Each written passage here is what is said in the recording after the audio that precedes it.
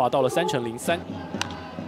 这个变化球打在二垒上空，被跳起来接到，再传一垒，double play！哇哦，王振堂，这个球跳得够高，而且反应非常快。对，哇，直接形成了一个双杀啊！